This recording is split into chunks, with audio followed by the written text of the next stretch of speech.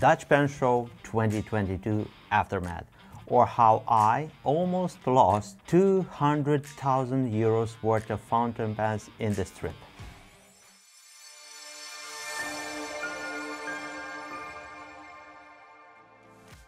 Hmm, I just love to start my videos with a coffee. But anyway, we're not here for the coffee.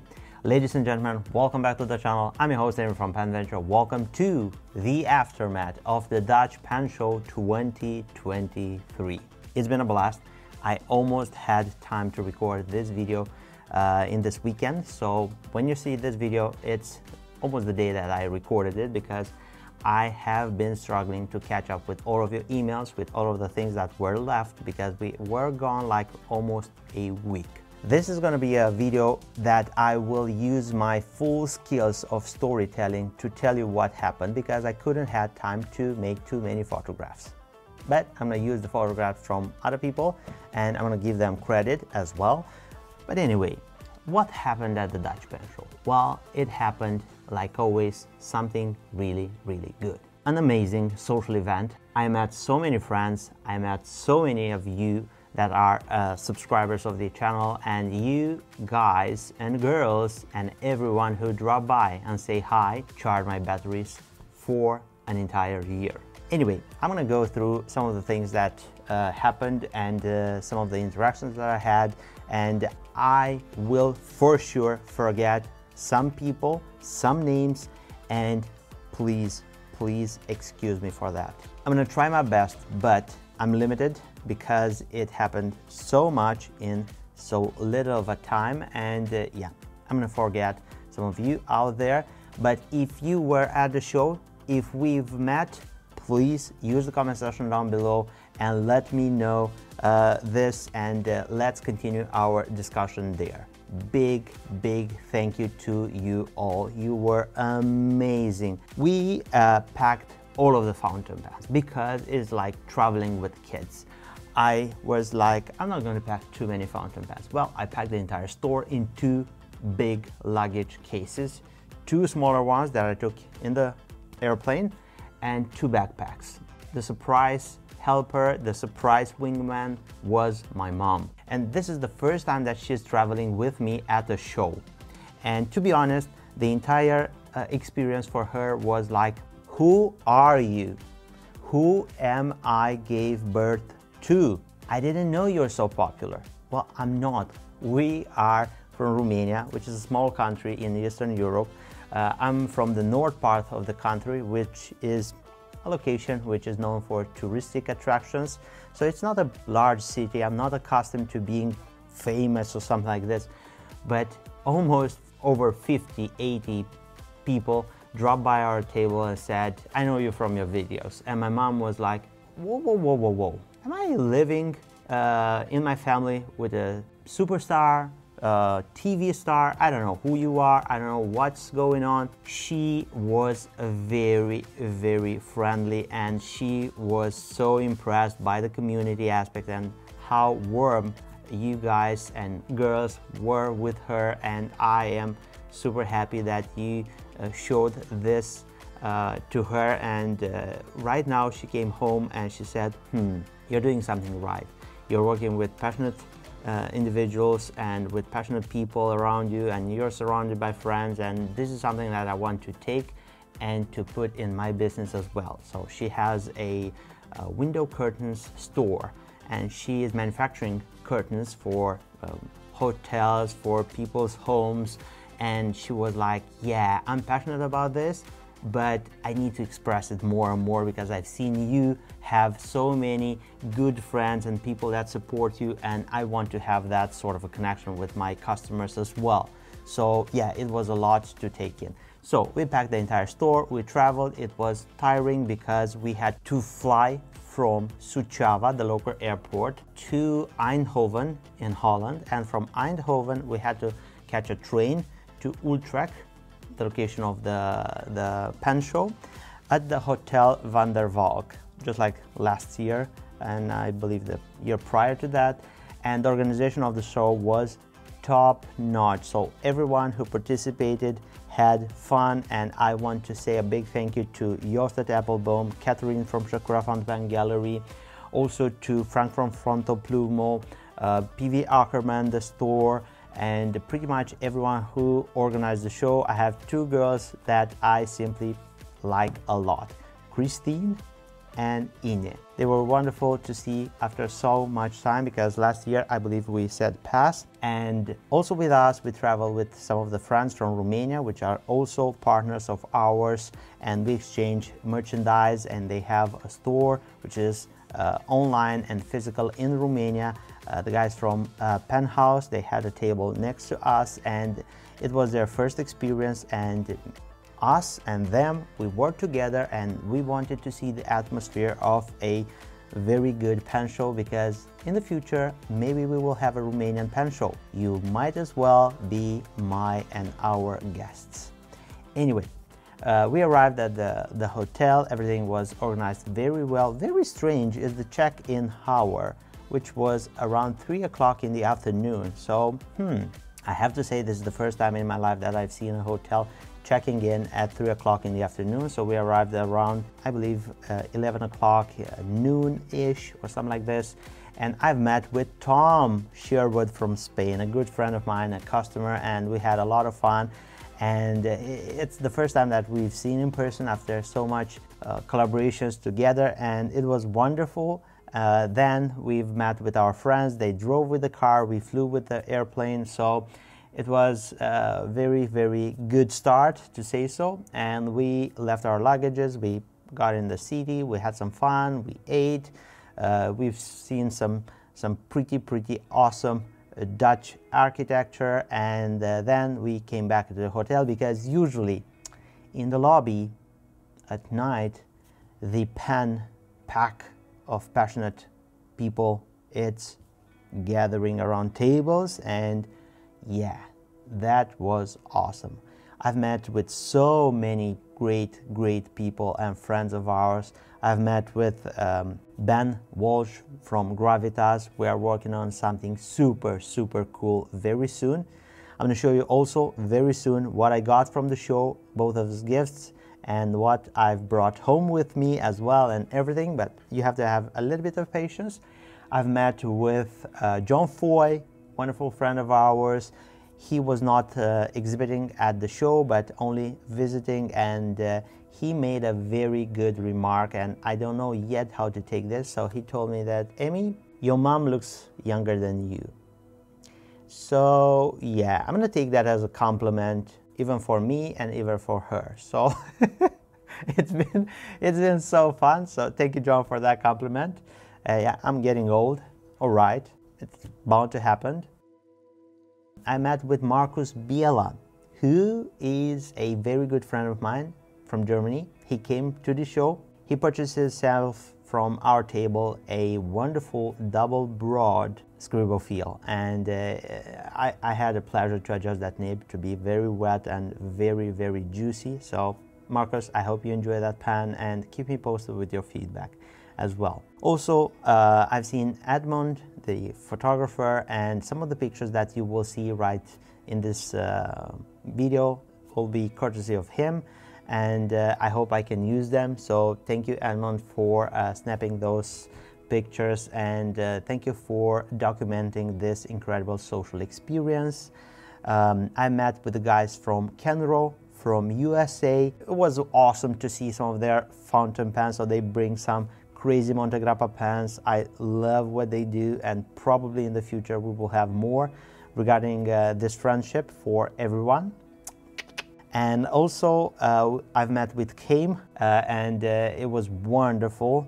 He and his wife uh, and Kame is a big, big fan of Delta fountain pens and he showed me a very special Delta fountain pen that he and uh, some people put together and by some people I believe Ciro Matrone and Leonardo. Of course, I've met with Tom Westerich and uh, we discussed a few things regarding celluloids and fountain pens and all of that. Uh, Michael from Germany, good friend of ours, and uh, it's, it's, it's like seeing someone from my childhood.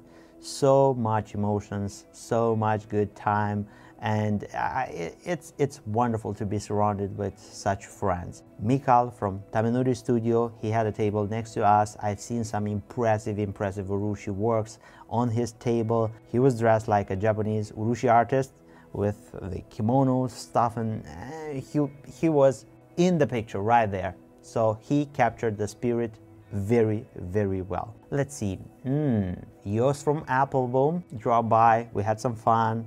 Uh, we had some jokes. Me and him are always, always joking and poking each other and stuff like this. So it's fun to to get a hold and see him once a year. But I think I will visit his store in Larne very, very soon, the Appelboom store, and probably will have some videos regarding this. I'm sorry that I couldn't document everything. And uh, let's see, who have I been seeing at the show? So I met with a, very, a very special person. His name is Dr. Lois, and I'm reading this from his business card. Loisos Prastitis, and um, he's from Cyprus, not Greece, Cyprus. And uh, he is a wonderful person, and uh, it's, it's a shame that I couldn't spend more time with him. So from him, I received the special gift and it's a bottle of spirit that uh, I've used it.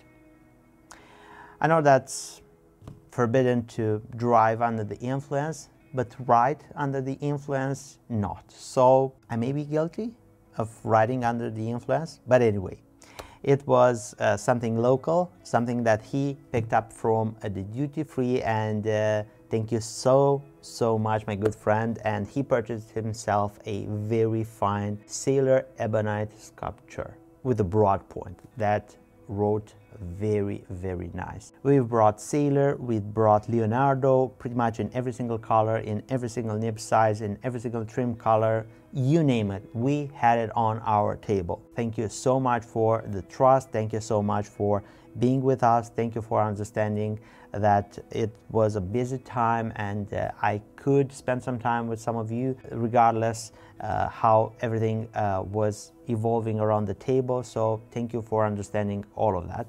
Thank you for your support and for sure in 2024 we will have another Dutch pen show that we can confirm and we will be there. Anyway, and let's see, mm, I had a nice lady who dropped by and acquired a Visconti Homo sapiens demo stones and she's from my YouTube channel. I got a lot of comments from her and it was awesome. I adjusted that fountain pen for her to the best of my ability and she was very, very happy with her purchase.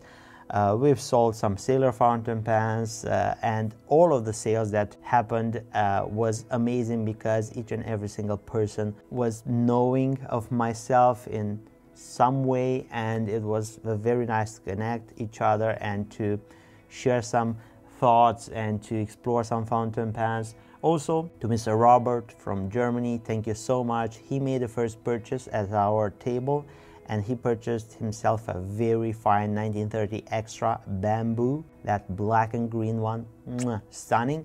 And also he wanted to have my Aurora Ochani, which was selling on our consignment section. There were another lady, oh many ladies, who dropped on our table and she gave me a very, very fun gift. And I've got this incredible kit, uh, chromatography kit with some butterflies and baby Emily went through this so we may find the butterflies or not but anyway yeah they are here so this is what's left from them. Uh, and I even told her, Emily, please, daddy needs to do a video regarding this and to say a big thank you to everyone. She was like, yeah, five minutes later, uh, the butterflies were uh, taken out. So it's gonna be fun to have this sort of a project with uh, my daughter, baby Emily, and uh, we're gonna have a lot of fun. So thank you so much. If you're seeing this, please comment down below because I want to say a big thank you and I'm honored to see how much love do I get for uh, the, the content that I present on my YouTube channel. So this is something very, very special. It's a notebook and I was shocked to see how beautiful it is and I'm gonna cherish this and I haven't let baby Emily to get inside and uh, have her way through it. So it's just like the jeans, and it's it's from Japan, uh, from what I see, and it's very well organized. It looks very very nice, and I cannot wait to have it in my rotation with this beautiful cream paper, and it's it's it's gonna be a treat to be honest. And uh, thank you, thank you so so much for this. Also, I got a kit for calligraphy, and it's right here. Suzanne Cunningham, and uh, it's a kit for uh, some Spencerian and flourishings and how to do them and all of that. And I am going to practice my calligraphy. I do have a nice handwriting, but that is not going to stop me from practicing more and more. So I'm going to do that a lot, and I will hope that one day I will present some very nice handwriting to you all. Mikal from Tamenuri Studio who gave me as a gift this wrap which was made by him and it is a lifesaver because I could take inside some of my special fountain pens with me in, the, in my backpack that I didn't want it to travel uh, with the airplane uh, at a luggage. I didn't almost brought the entire store. I even went as far as bringing the entire collection of writing instruments, my writing instruments, with a lot of expensive writing instruments. And I don't know if it was good or bad, but you will see that there are some good parts and some bad parts regarding that. Jose from Nib Lab, we've met and uh, he was with a special person and that special person acquired a fountain pen from us and I was very happy that I was able to see my friends and to enjoy time spent with them and uh, every everyone at the show was wonderful. I almost forgot Vanessa traveled from USA, Texas, if I'm not mistaken, for the Dutch Pen Show. And you know Vanessa. Vanessa, Vanessa is a, is a celebrity. She is a celebrity, not me she is a celebrity in the fountain pen world. I'm just a humble guy coming from a small country in Eastern Europe. When she came, I believe she was coming with her private jet. And Vanessa, if you're seeing this, sorry, I couldn't help myself. Anyway, uh, let's uh, let's see. What did I got as fountain pens from the show? First of all, I haven't purchased anything, but even when I am going to a show and I don't have time to purchase fountain pens, some made their way to me.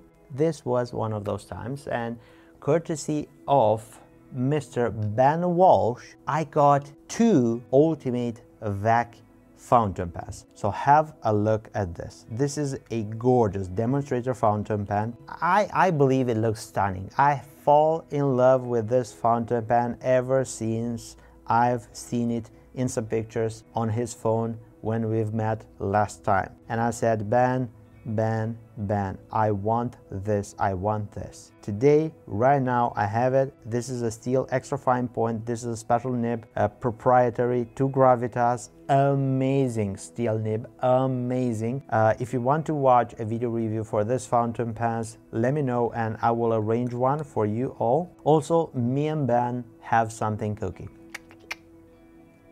I have a yellow one as well, which is inked up with Iroshizuku Yu-yake, if I'm not mistaken, and this has a flex nib with one of those crazy feeders from Gravitas. So this is a two fountain pen that made it to my collection and we will soon have a video review for these two fountain pens and I will see how we will have them introduced in my pen collection. Now, let's go and discuss how I almost lost 200,000 plus worth of fountain pens. So, it was the last day, we packed up everything and uh, the guys that were in the lobby um, at the reception told us that, uh, hey, be careful because trains are delayed and there are some uh, strikes, stuff like this. So it's not working properly so you might find your way much more sooner to the train station because there will be delays. So we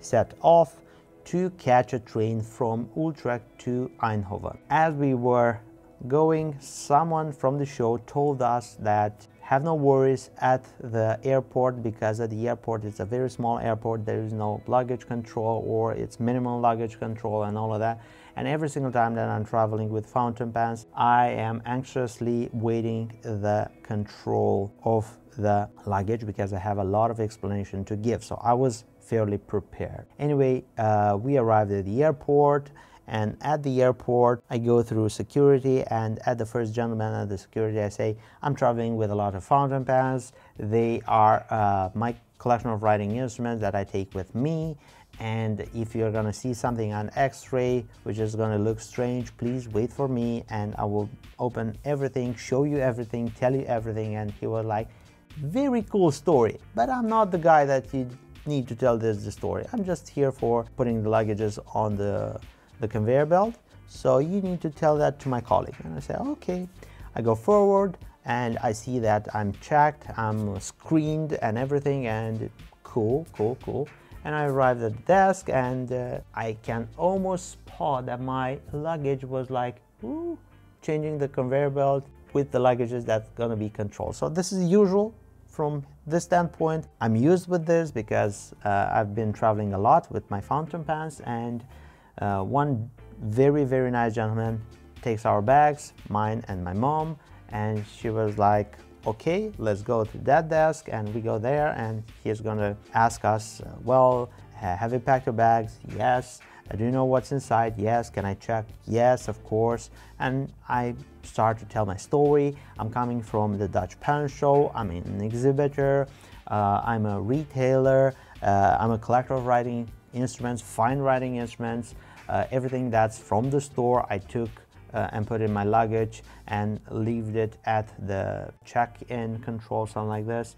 Uh, and what I have in my bag is my personal possessions, my, my fountain pens, which are fairly expensive, and I would like to travel with them in the airplane. And uh, he was like, very, very nice. He opened my cases and he was like, how much is this? And he picks up one of the most rarest fountain pens in that case. It was the uh, one of the Maki-e fountain pens, something from Danitrio, and I say to him like, that's around six, seven, eight thousand, ten thousand, depending on the market. And we're like, ooh, hoo, hoo. we may have a problem because this is just like art and uh, we're trying to be very vigilant in regards of uh, money laundering and stuff like this. And I was like, okay, understandable. And he calls for his colleague and his colleague uh, starts to ask us a few questions. First of all, where are you traveling? And I say to Suceava. Su Suceava. And we're like, hmm, never heard of this country. And I say, it's not a country, it's a city, Suceava, in Romania. Okay, yeah, we're gonna call for customs. Never done this before, but I've seen a lot of border control documentaries, so yeah, it's gonna be a lot of talking. Anyway, uh, we took our bags, we have a seat, and we were waiting for the customs.